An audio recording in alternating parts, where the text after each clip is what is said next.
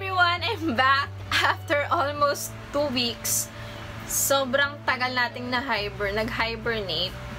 Well, hindi naman para sa pahinga or kung ano man. Um, Siyempre, kailangan ko lang um, mag-upgrade for for for ano, for the entire human race. And para sa mga viewers natin, and sabi kasi ng manager ko, ayusin mo yung background. So as you can see, I already have a new paper. This is my room and ayun lang, ako yung inayos ko yung wallpaper ko. So, yan, for the benefits of the madlang online shoppers. Ayan. And sa mga viewers, naks my viewers, meron ba viewers? Yung organic na solid uh, kimchi's. okay, so, anyway, nag, uh, film ako to ngayon. It's already 9, 10 in the evening. Nag-improve talaga tayo ngayon, ah.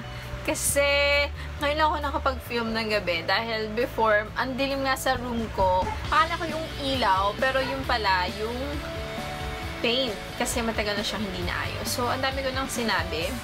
May inip na kayo.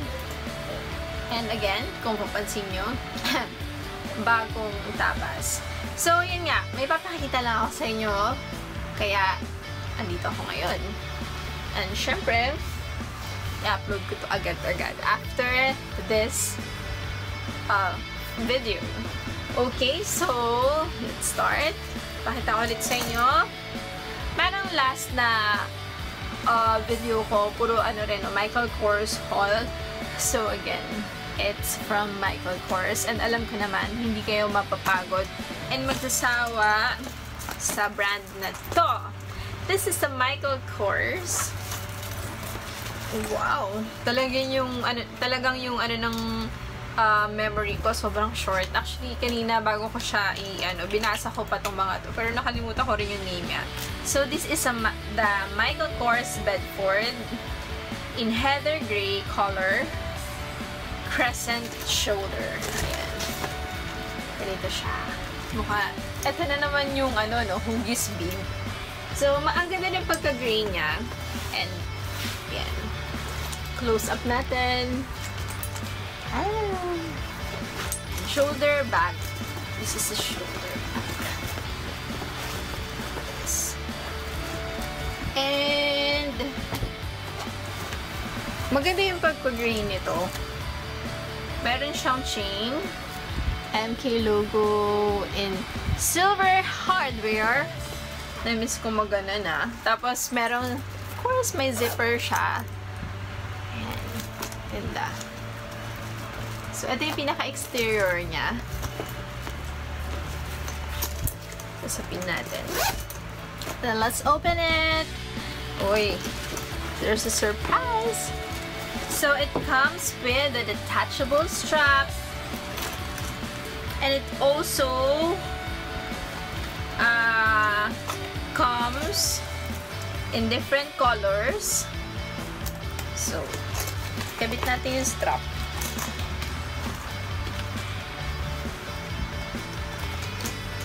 Ito siya. Then, you like this.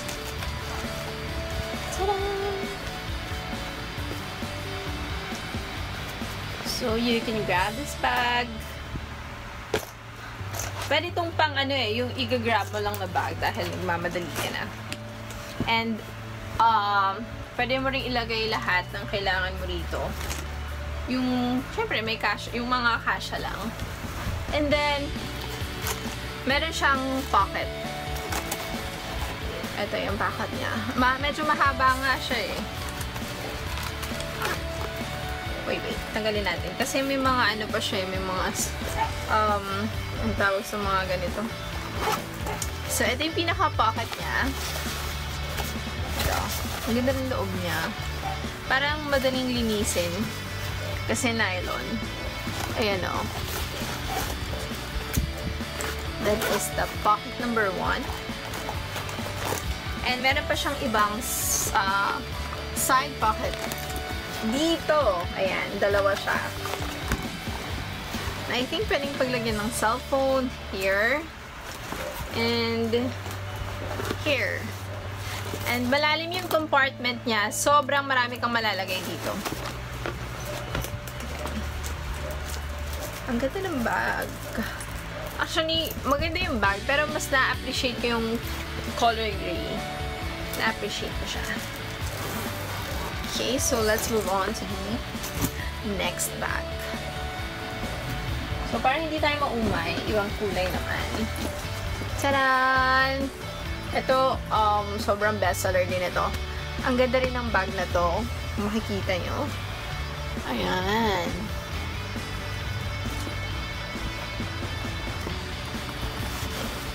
Ganda nung, ano yun, diba, nung exterior. So, ito yung isa sa mga nasa bazaar na halos, um, na ubos na. Pero hindi naman, since halos lang, ayan, ito nga yung isa yung natira.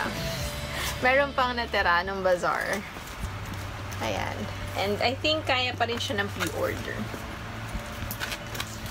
So, ito naman yung likod niya.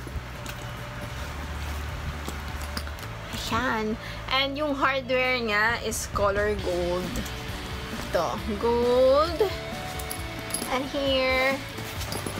And ito yung mga paka niya. So, ito yung unang buksan natin. Oops. So, charan! Merong tinapay palaman. Marami pang iba. Hmm? Yan. Ito siya. Oh, malalim yung pinakaunang uh, packet niya dito.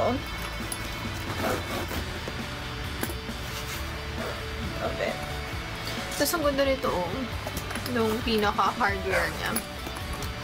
Tapos open natin tong pinaka-main compartment. So, pagpasensyahan nyo na yung aso ko. Talagang minsan, tayo yung mag-adjust para sa kanila. So, this is the main compartment. Tada! Yan. Palagi tayo may ano eh, sariling sikap na sound effects. Ayan. Marami ka rin malalagay dito. Kasi, ito siya. Hindi ko pala nasabi, no? This is uh, the Michael Kors Abbey. Ox Blood yung color niya. Backpack. So, now I wonder, ito ba yung color ng Ox Blood? Tcharam! Then, ito na. Sa loob, meron siyang, bilangan natin, 1, 2, 3 pockets. So, kita ko sa inyo, yung loob niya.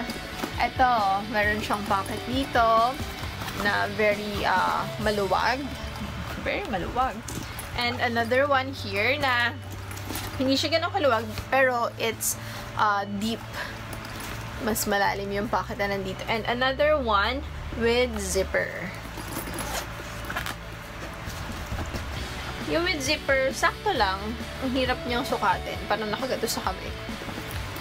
Yan.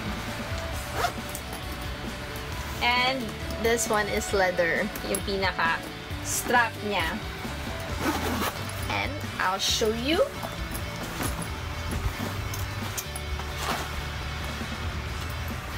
This bag. Perfect for OOTD. Diba? So, it looks good on white. I love it. So, mas maganda pala siya kapag suot na, ba? Mas ma-appreciate mo. And sobrang saucy din talaga. Well, of course, dahil siguro sa brand and yung design din. You can never go wrong with this. With Michael Kors brand. So, the next bag is, again, uh, backpack.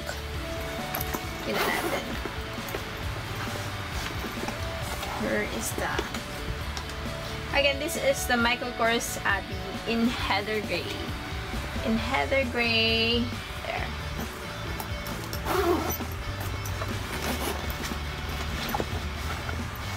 So, Heather gray backpack. And pakita ko sa inyo yung difference nila. This one has, um, ito, yung parang mga leather and ito, design. Yung magkaiba yung design nila. But, uh, pares naman silang, ano, Abbey collection ng Michael Kors. Ayan. Diba? But, parang silang maganda. Okay. So, same lang naman sila nung um, kanina, ang pinakita ko sa inyo, but magkaiba ng kulay and ibang design. Pakita ko na lang sa inyo yung konting interior niya. So, ito siya. Color gray din yung pinakaloob. Ayan, oh. Ayan.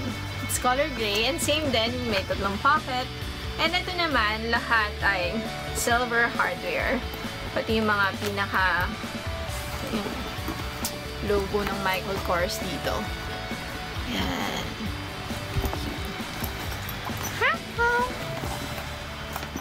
So, this is when worn. Sa mga mahilig sa ibang color ng bag, wait lang, sorry, ay, ayusin ko lang. So, ito. Pakita ko sa inyo to pala. Itong pinaka, ito niya. Yung mahilig talaga sa details. Ito yung likod niya. Hmm. Ganda. Ang ganda talaga ng pagka-gray niya.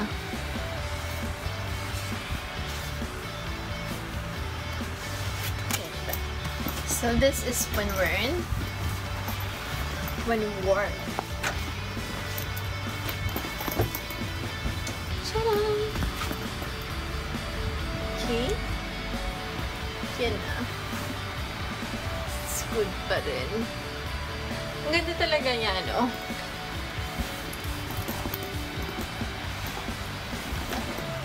Tara na, magkating na tayo. Huh. Diba? Ito yung mga ano, ayoko na ituloy, baka sabihin judgmental ako. Eh, yung mga nagka-cutting, tapos ganito yung bag. So, the next bag is this bag. Ang cute din niya. Ang ganda. It's a Michael Kors Haze in Vanilla backpack. So, vanilla backpack. So, yan. Kaka-review natin ng backpack. Malapit na akong maging Dora. Bilang meron naman akong box ngayon. Bigyan natin yung box. Backpack! Ayan. So, ito na. Ang ganda nitong bag na to. Tingnan nyo lang siya. Mukha siyang maliit. Pero, kung makita nyo, para siya aliit niya. Though maliit naman talaga yung size niya. Pero. Ito siya. Papakita ko man sa yung pinaka-exterior niya. Ayan, meron siya mga small details na ganyan for this. And ito yung pinaka uh, pang cover niya. And meron siyang pocket dito. Exterior pocket na pwede yung paglagyan ng mga bills. Ito, dito. Malalim din yung pocket niya. Pero medyo tight na. And hindi siya malalagyan ng something bulky. I think yung mga ano lang talaga, like card, cards or bills or receipts. Kasi yung mga flat lang. Hindi ganun ka-bulky. Tapos, ito yung pinakalikod niya. Diba? Ang cute. That make this bag so special. And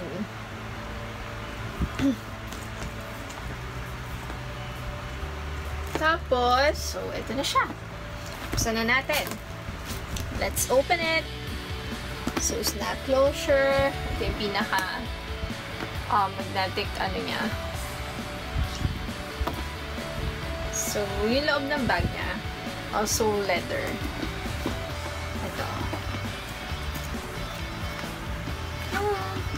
Pang very waterproof eh, no? Tapos, meron siyang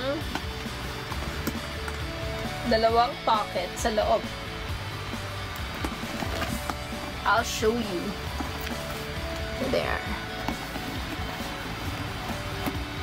One pocket here and another one here. There. So, with care card. Yan. So, ayan. Papakita ko sa inyo kung ano yung pwedeng magkasya dito sa bag na to. So, this is a MacBook Pro 13-inch laptop. And I'll try kung magkakasya. Wanted to show you the world. Shiny, shimmering. So, as you can see, uh, medyo sobra na siya sa pinaka-compartment ng bag. The 13, yung 13-inch laptop. And, but I'll try to close it. And kasha naman, sobra na lang siya dun sa pinaka-bag. Because it's kasha. Yan. Yan. And marami ka rin malalagay pa dito since expandable siya. Maraming kasha dito. Maraming kasha. Sige, I'll try to uh, put this planner inside the bag. So, I have the planner already. And books. Book. Eh. Medyo, ano tayo ngayon eh, no? Tapos, makeup kit. I'll try to put in it. This is my makeup kit. And then, sakto mayroong bottled water dito sa loob ng ko. And it's still, still, ano pa naman, marami pang laman. Pero ayoko na siyang punuin. I'll just try to close it. Suotin natin. Okay, I'm ready to go. Okay. Na-feel ko pala ang nipis ng strap niya, pero, wow, ang ganda. Ang ganda. Diba? Louder! Ang ganda! Ang ganda niya, oh. Diba? Tapos, ah yung nilagay ko mabigat, pero but feeling ko hindi siya mabigat masyado. Manipis yung strap niya, pero comfy. Ayan, ito yung strap. Ang ganda, oh. Kahit yung strap maganda. Oh. Lahat ng pinakita ko ay perfect for OOTD, lalo na sa mahilig mag-travel. Ang ganda. Ang ganda nito. So, tatapusin ko itong video na to, na suot ko itong bag na to. Ang hirap, ang hirap kumilos. So, anyway, guys, thank you for watching and um, makakaasa kayo na mag-upload ulit ako ng video kahit ayaw nyo. so, ayun lang guys. Thank you so much again for watching and ang um, masasabi ko lang ay I am happy to be back. At don't forget to like and subscribe. Okay? See you!